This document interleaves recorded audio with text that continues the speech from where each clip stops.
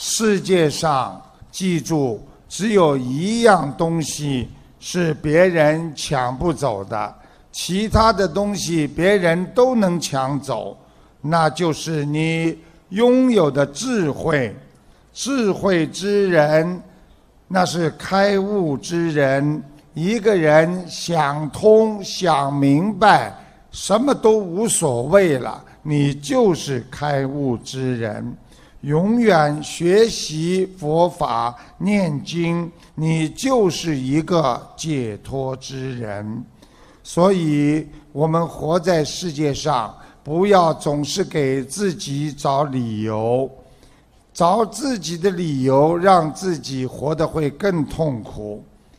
所以，人要学会宽容，能够包容别人，是一个人在这个社会当中。台长说，要学会吃两样东西，一个人才能成功。一个是要学会吃苦，还有一个要学会吃亏。人的宽容其实是从委屈中来的。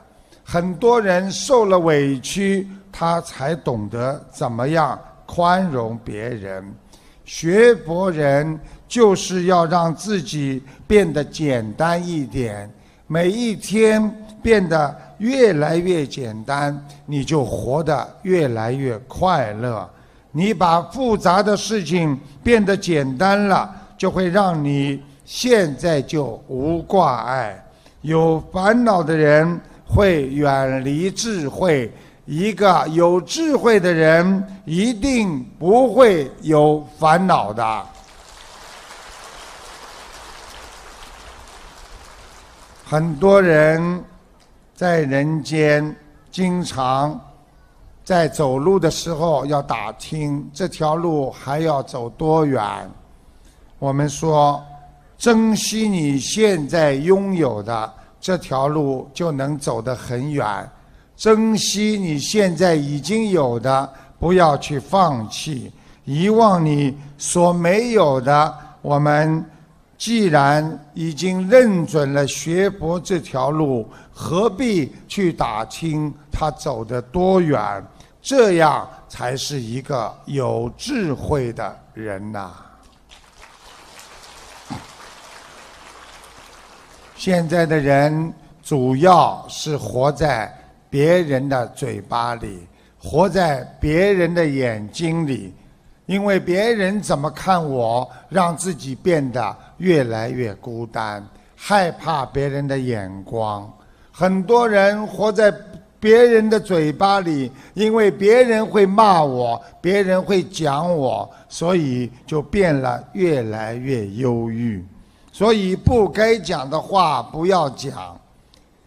有一次，有一个禅修法师的一位弟子，匆匆忙忙走过来找他师傅，他就说：“师傅，师傅！”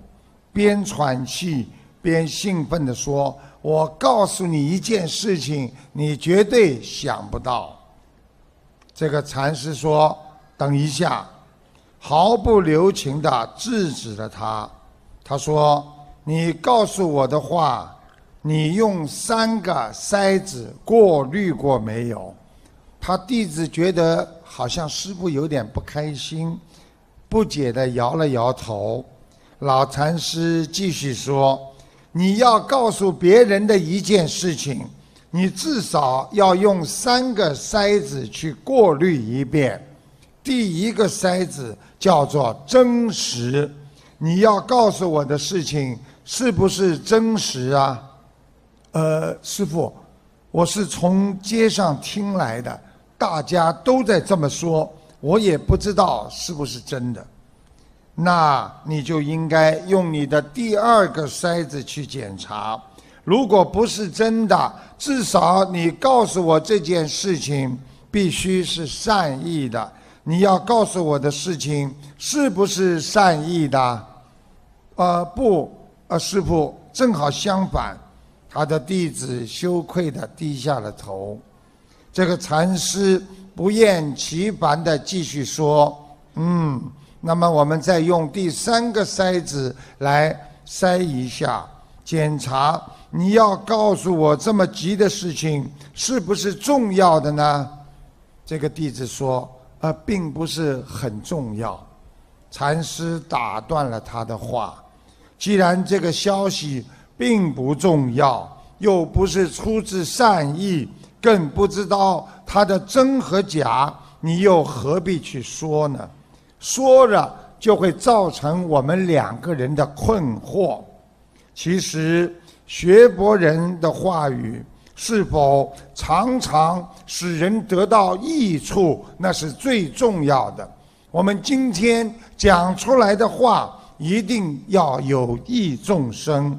自己过滤一下，你会发现你的一生说了太多不应该说的话，伤害了太多不应该伤害的人。所以，学佛人要学会谨言慎行，少说话，多念经啊！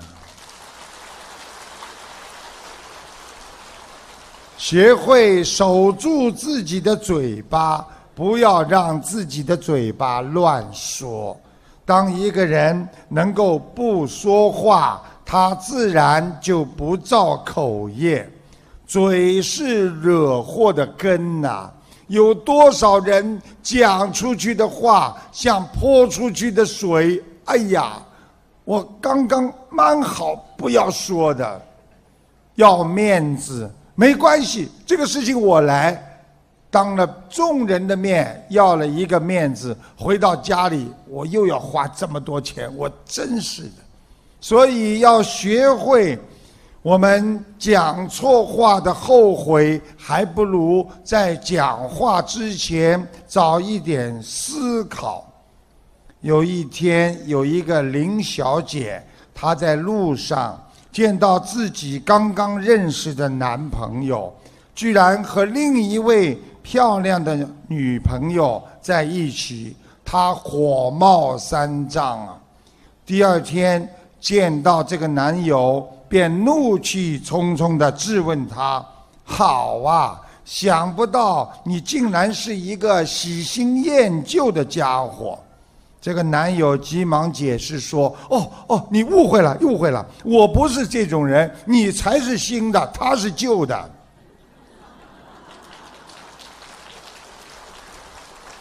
话语一戳一出，女朋友吹了。有一个听众也是的。当得知他的妈妈可能是肝癌之后，还没有确定，家里人都知道母亲的胆子特别小，大家讲好全部不要去告诉妈妈。结果就是这位妹妹，她去告诉了母亲，母亲在两周之后就走了。结果死因调查并不是肝癌。因为他妈妈是心脏病复发被吓死的，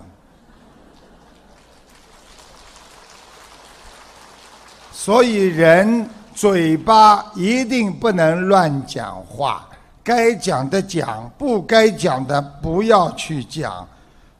所以这个姐，这个妹妹从此在家里被别人一直全家都在骂她。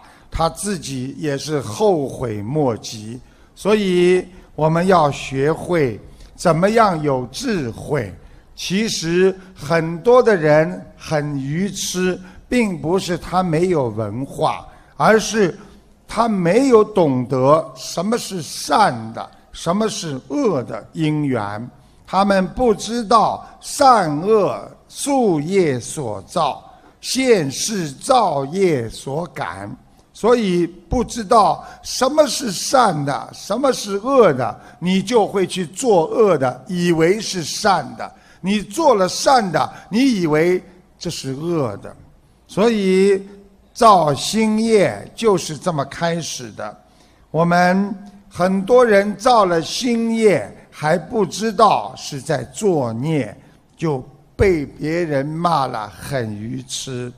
其实。因果报应，前世后世都是一种心啊。很多父母亲被孩子气得吐血，伤心欲绝，但是。一听到佛法界讲，那是你前世孩子的冤结，那是你前世的讨债鬼来了。妈妈马上想通，开心了，我不生气了，因为讨债的来了，就让他讨吧，我也用不着气出病来，无人替呀。